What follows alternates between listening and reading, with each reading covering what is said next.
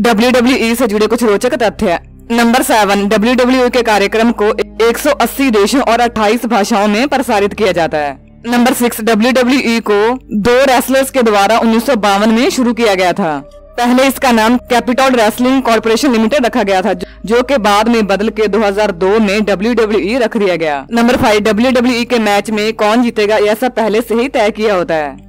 Number four W e में सबसे कम उम्र में चैंपियनशिप जीतने वाले सुपरस्टार ब्रॉक लेसनर हैं। उन्होंने मात्र 25 साल की उम्र में ही द रॉक को हराकर यह खिताब जीता था। नंबर फोर, जॉन सिना और रिक फ्लेयर के पास अब तक सबसे ज़्यादा मैच जीतने का रिकॉर्ड है। दोनों ही अब तक 16 मैचेस को जीत चुके हैं। नंबर टू, रिंग के नीचे रखे जाने वाले ज़्यादातर हथियार असली होते हैं ताकि रेसलर फाइट के समय उनका इस्तेमाल कर सके। नंबर वन उन्नीस को हल्क होगन और एंड्रे जाइंट्स के बीच खेला जाने वाला मैच। सोशल नेटवर्किंग साइट पर अब तक का सबसे ज़्यादा देखे जाने वाला मैच है।